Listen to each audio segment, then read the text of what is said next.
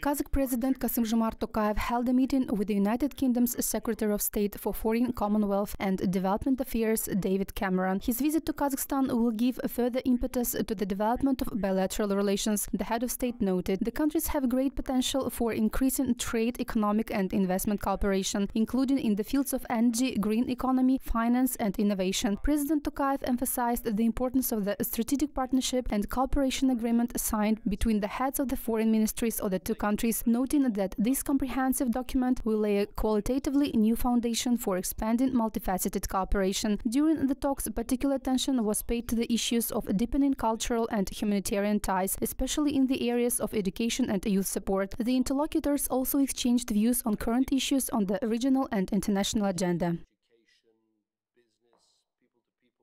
We greatly value what has been done in the area of uh, mutual ties between uh, UK and Kazakhstan. UK is regarded as uh, a major strategic partner, and uh, I believe that uh, we need uh, to do more in order to enhance our cooperation.